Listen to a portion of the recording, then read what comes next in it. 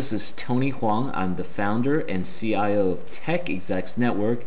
We're a national association and national network of decision makers just like you.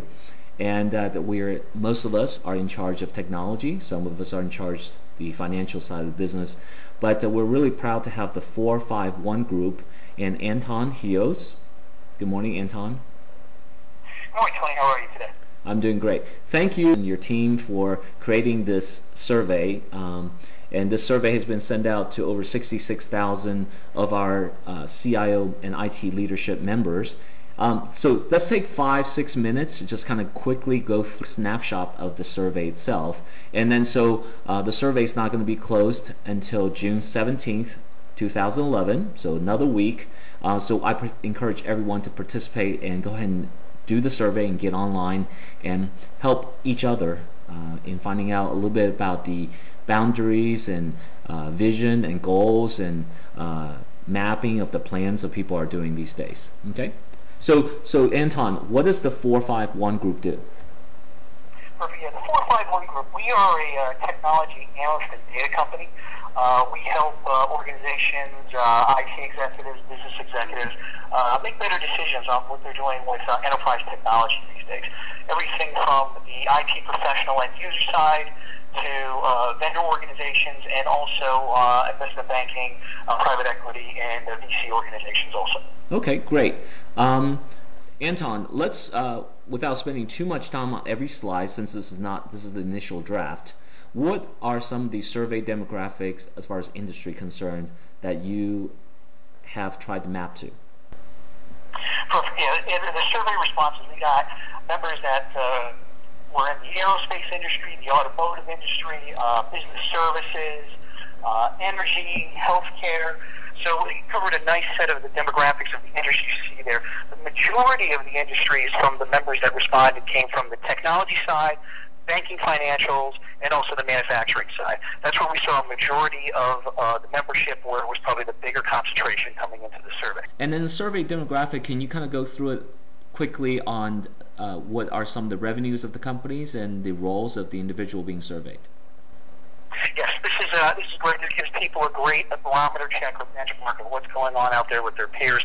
Uh, the revenue side is a majority came from um, zero to 200 million in revenue. Uh, majority of those companies were a lot closer to 200 million as I checked into those companies that were there. Uh, if you look at the next uh, two demographics, which is the 200 to just under uh, 500 million and 500 to uh, 1 billion. So if you look at that and if you look at and add up those percentages, 75% are in that range. So we're looking at the small to mid-sized enterprises, uh, a very big area, and also the largest kind of enterprises we see in uh, North America that uh, provide a lot of the business and uh, information these days into organizations. And then what about the role? Yeah, the role, and what was really great was uh, we had a majority from the IT executive role was on the enterprise CIO side. So these are the people that are the senior most IT person inside the organization. They carry the title of uh, chief information officer or even some of them chief technology officers depending on their organization. Uh, what was nice too was the next role was a senior IT leader. So uh, looking at those um, responses, those are probably people, they, they may not have the title of CIO, but they might be the uh, executive vice president or senior vice president inside of an organization. And uh, that was a great demographic to have between those enterprise CIOs and the senior IT leaders there too. That's, that's wonderful. Um, uh, since the survey is not complete yet, uh, would you encourage more people to participate? I would definitely encourage more people to uh, participate. As as uh, you know, Tony, we, we, talked at one point.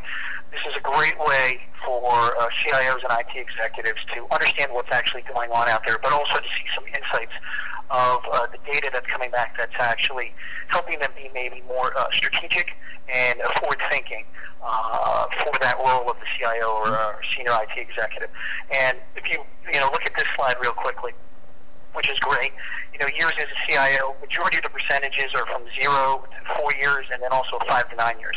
Um, what I see is that, uh, I, and from talking to CIOs, and probably you've seen this too, uh, I think that. Um, year of when people were saying that the CIO will only last two to three years or 24 months, I think that's extended more. I've seen it where it's lasting anywhere between 4 to 0.3 to 4.6.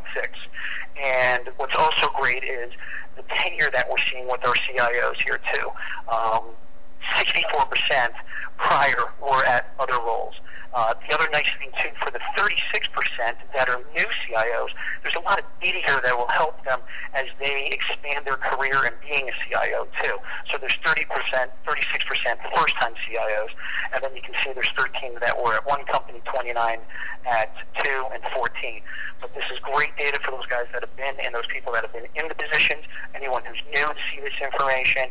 And then, you know, what I love to see also is 56% are saying that they're part of the executive committee. That is very key. I think that percentage is up over the years also, uh, just because where we see technology being very pervasive inside uh, the enterprise, and it's no longer, I think, IT in the business. Technology is part of the business and does help drive a lot of things.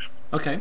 Uh, one of the key things is the IT spending, and that's been a urgent request from many, many of our CIO members on their own measurement and their own scorecarding of how they're spending versus everybody else. So this slide is uh, really helpful, and hopefully more of you, uh, our members, are going to be completing the survey, so we'll get an even better uh, measurement of what the spending looks like. So Anton, what is the survey data IT spending tells us?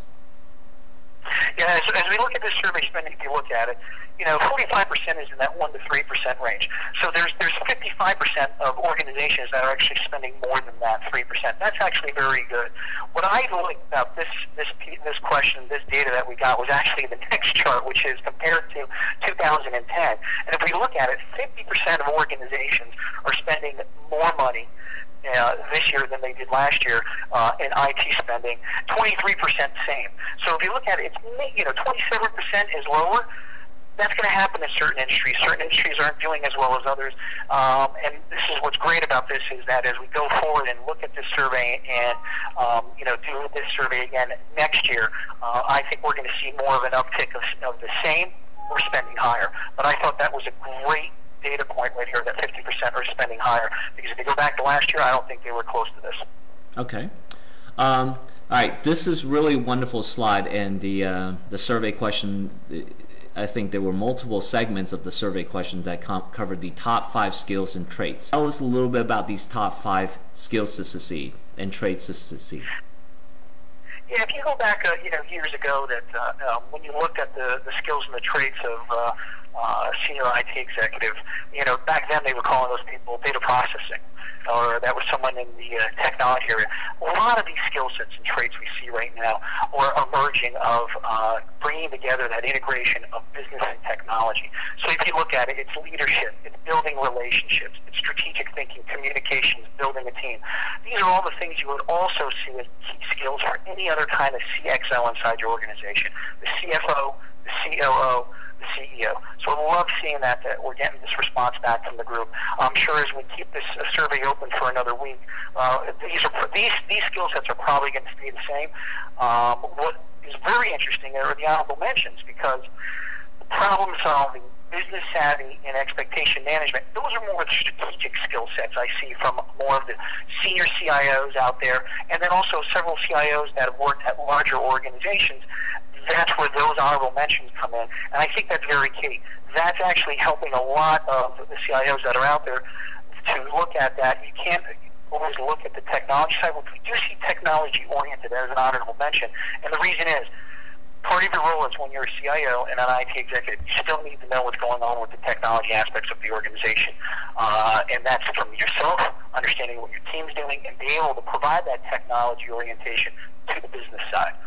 From the traits, this is perfect. These are the kind of people you want to see inside your organization. What I would suggest to CIOs and IT executives is you look at these traits, these are the same traits you want to have to your direct reports and the people below that inside your organization too, because those are going to be the next leaders inside your IT organization. Okay, great. Um, now, this we got two more slides, but uh, the top five business management and technology priorities. Tell us a little bit about uh, what you found here. Well, this maps very closely to what we saw in the skills and traits. Once again, very much a business technology focus. So it's providing technology leadership to the business. That's making them aware of what's going on, what kind of technologies are out there, how these technologies can benefit the business, how they can streamline processes, uh, how we can use some of those technologies to build better service delivery from an IT side.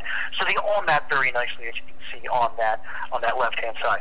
Honorable mentions, once again, provide the business capabilities, manage change in the business, and there it is, the recruit retain. So what we saw is the traits of what we look at from, for ourselves as CIOs or senior IT executives. We need to take those kind of traits down into our IT staffing. Uh, still a big issue, always been recruiting, retaining, and retraining IT staff skill sets are changing these days too as we see technology changing and what we're seeing from cloud computing and all these other kind of new computing technologies that are coming out there. A push towards mobility, uh, bigger pushes towards security and what's happening. So very key. Mm-hmm. From the technology priorities, business intelligence is huge. Everyone's talking about big data out there and how we can leverage more of that data that we're gathering and what we can do with it. So very big, very topical these days. Mobile technologies. Uh, as you can tell, you know everything from uh, smartphones, laptops, uh, now all of some of these tablets. You know, how can we leverage those kind of technologies to make our um, employees uh, more efficient? And uh, able to connect better with our uh, customers that, that, are, that are outside of our organization. Uh, data information management, virtualization, and security technology. Okay. Uh, honorable mentions, cloud, as you know, something we're hearing and continue to keep hearing about, and there will be a focus on it. Uh, ERP, because that relates to a lot of the applications people are working on, and one that I thought was very interesting was uh, networking, voice, and data communications. It's all going to be a unified front. So um, very interesting stuff here. I am really looking at that business management and those honorable mentions because I, that that is going to that is going to take CIOs to the next step uh, in their career where they are inside their organizations and how they can take their organizations to the next level. Okay, well that's great, Anton. Um, so let's uh, talk about this final slide here, the survey data. Uh, what does it uh, tell us? Well, this is great. This means that uh, a lot of CIOs out there like what they're doing. They like what they're doing where they are. They also like what they're doing, and they like to go off and try other things at other companies as CIOs. So I think that is great. I also like seeing that the next career line was C- COO. 13% said that.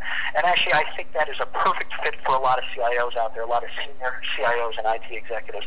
The COO job is very similar to the CIO job. It's just not as much in the technology space. It's on the operations. And if you look at the CIO, you do a lot of operations and managing the technology, but you need to understand what else is going on inside the business.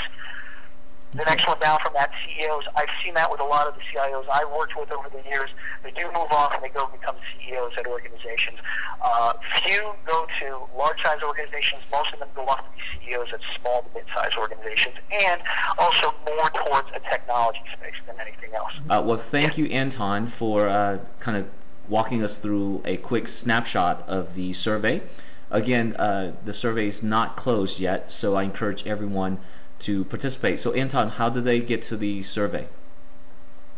You can get to the survey. It's uh, out there on SurveyMonkey. So there is a, as you can see on this last slide, we do have a link. It's uh, SurveyMonkey.com, and uh, look for the part that says 451 Group IT Executive, and click that. Please, it'll take you maybe about 15, 20 minutes, not even, uh, to fill out the survey, and we can get your responses so that you guys can have a great uh, view of what's going on out there with your peers, and uh, hopefully get some insights on what you can focus on to take your career and your role to the next level. Okay. Well, thank you, Anton, for your time to, uh, that to walk through these slides really quick with us this morning. And that uh, I encourage everyone to go ahead and jump in and fill out the survey. So, Anton, you guys will run the survey uh, result one more time and update the uh, slides. If you guys have any questions, in the meantime, feel free to contact Anton directly, and his contact information is on the slide. Thank you this, very much this morning, Anton, for participating with us. Tony, thank you. It was great.